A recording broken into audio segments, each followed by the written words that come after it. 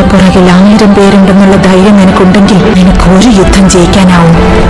എന്നാൽ നീ മുന്നിൽ നിൽക്കുന്നു എന്ന ധൈര്യം പുറകിൽ നിൽക്കുന്ന ആയിരം പേർക്കുണ്ടായാൽ ഈ ലോകം നീ കീഴടക്കും.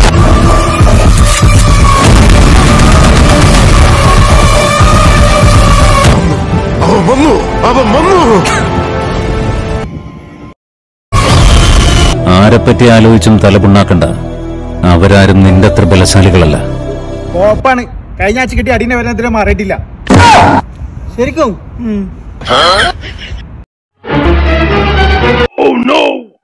ശിവനേ ഓടിക്കോ. പ്രേമ പതിയെ പോടാ. എനിക്ക് ദേശത്തെ വഴിയറിയില്ല.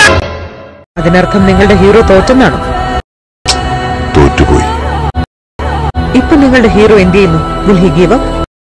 അലകൾ കാത്തിരിക്കുന്നത് തീരത്തെ പുൽകാനാണ് സൂര്യൻ കാത്തിരിക്കുന്നത് ആഴിയിൽ അസ്തമിക്കാനാണ്.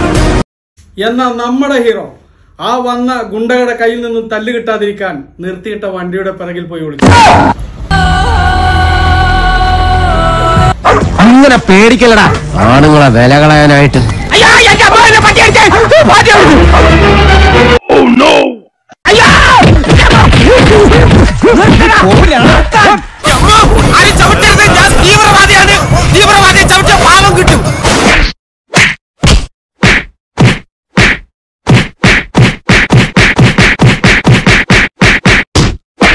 ഒരടിപിടി ഉണ്ടായാൽ ആരാദ്യം തല്ലിയെന്ന് ആരും ശ്രദ്ധിക്കില്ല. അടികൊണ്ട് ആരാണ് അവിടെ ആദ്യം വീണതെന്ന് എല്ലാവരും ശ്രദ്ധിക്കും. മുറിവേറ്റ സിംഹത്തിന്റെ ശ്വാസം ഗർജനത്തേക്കാൾ ഭയങ്കരമായിരുന്നു.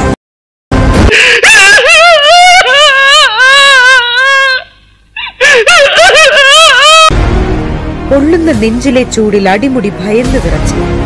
ആകാശത്തിലെ ഉൽക്കകളായി ഭൂമിയിൽ പതിച്ച്.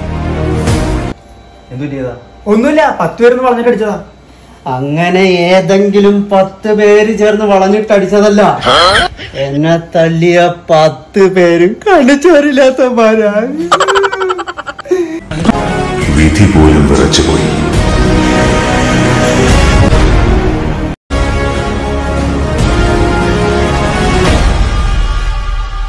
രണ്ടു ഓലക്കീറോ വെള്ള തുണി എടുത്തോളൂ. എന്നെ ഒന്ന് നിർത്താൻ പറയാ പെണ്ണുപിള്ളേരോട് ജീവശ്വാസം നാളെ ജീവശ്വാസം കിട്ടാണ്ട് പ്രാണം പോവാനായി അന്നേരം കോപ്പിലെ പാട്ട്. അറിയുന്ന പ്രാണന്റെ മനസ്സിൽ മധുരം ഇതാണ് ആദ്യത്തെ അധ്യായം. കഥ ഇനിയാണ് ആരംഭിക്കുന്നത്.